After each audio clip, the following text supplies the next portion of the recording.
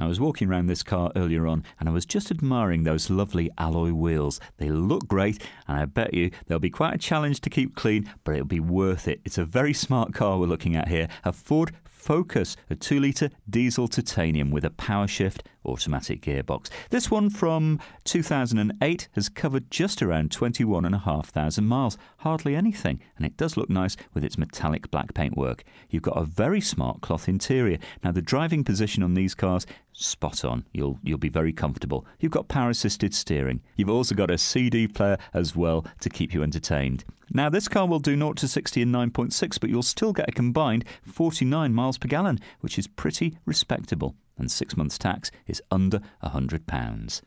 What are you waiting for? Why not arrange a test drive with no obligation? It's waiting for you.